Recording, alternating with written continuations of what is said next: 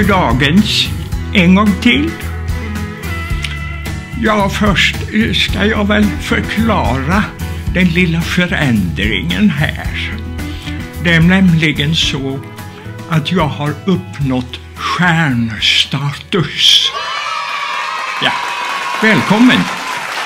Jag brukar ju börja med en eh, liten eh, gåta eller vad man ska kalla det.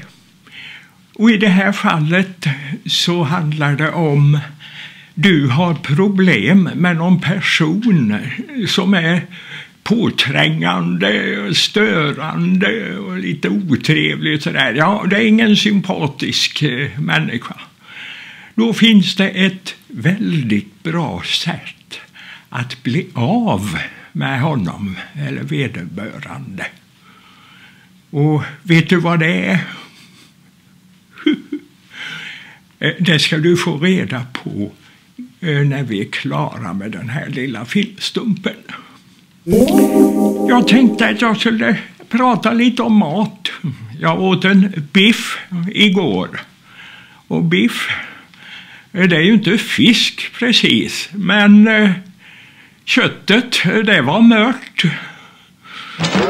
Så brukar jag titta på det här programmet, musikprogrammet som heter så mycket bättre. Och första gången så trodde ju jag att det handlade om någonting eh, som var bra för bönder. Ja, så mycket bättre.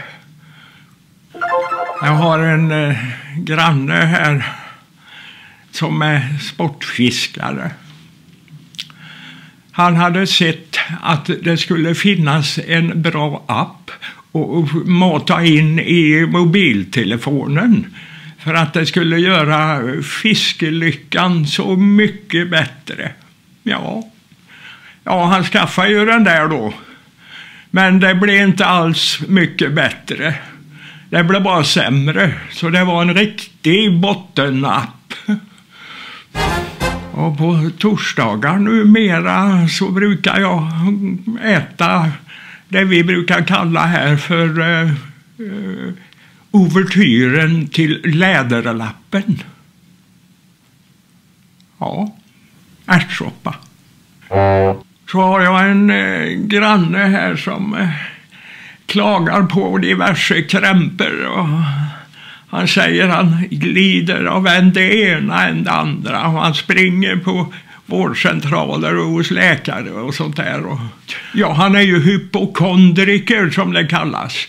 Inbildningssjuk. Ja, det skulle jag tro.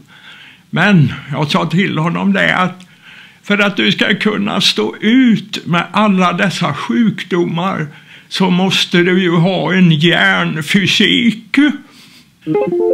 När vi människor blir förbaskade och arga på varann så brukar vi ju ta till nävrätten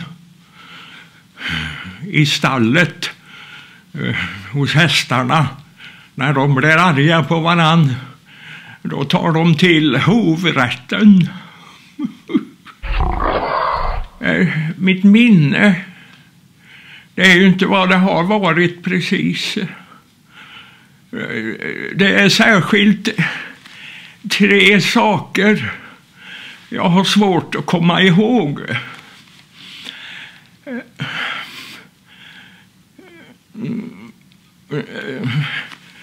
Fyra. Och så känner jag en travkuske på Åbytravet i Mölndal.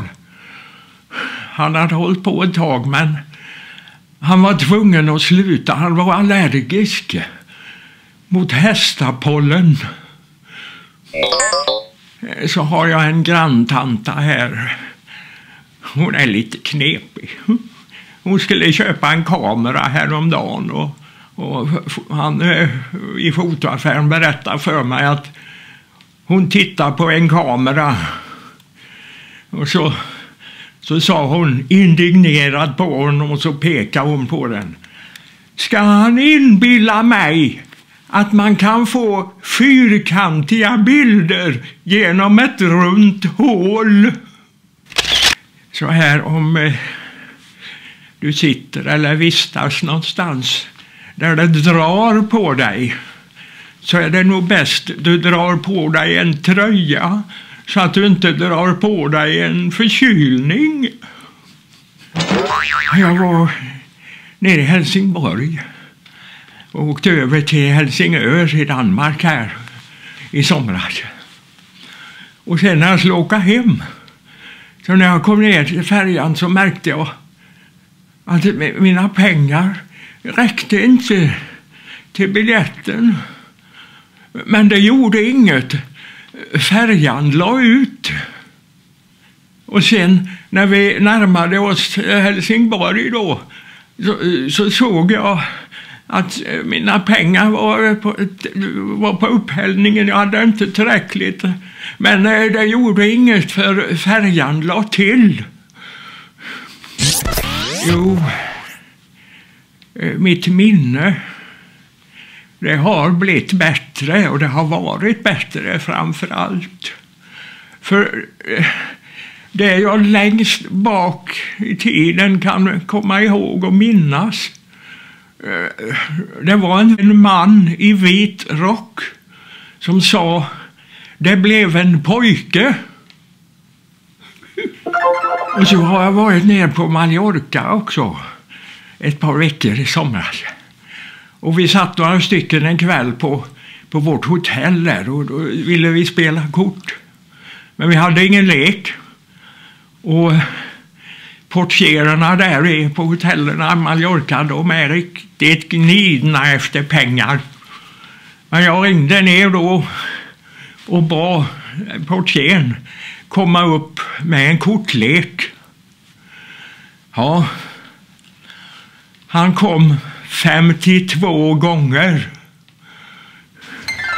Ni har väl upptäckt det på de här nya 200-lapparna. Det är ju en bild på han eh, filmregissören Ingmar Bergman där. Men jag eh, visste inte att karln snusade. Jag har aldrig hört talas om.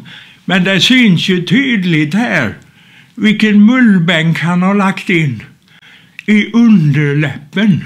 Men han är väl som Karl svarade på det när han fick eh, påpekat att han drar prillan i underläppen. Ja, jag är ju för det där med prissänkning.